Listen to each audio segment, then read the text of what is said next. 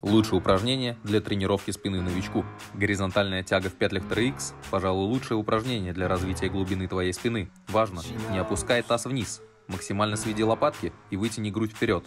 Тяни себя к низу грудных, руки как на велосипеде. Подобное упражнение можно сделать и с турником. В моем случае это гриф. Важно встать с правильной стороны, чтобы ненароком не поломаться. Также в спортивном зале к тебе может подойти кто-то и сказать, что так делать нельзя.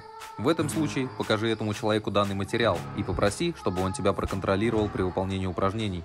Для развития широчайшей лучше всего подойдут подтягивания на турнике. Но если с этим возникают трудности, обратись также к петлям или низкому турнику. Ты научишься, всему свое время. Вертикальная тяга TRX поможет пробить широчайшую. Локти держи ближе к корпусу, ладони направь наверх и тяни себя к поясу. Ну и закончи тренировку австралийскими подтягиваниями. Желаю качественного и натурального роста.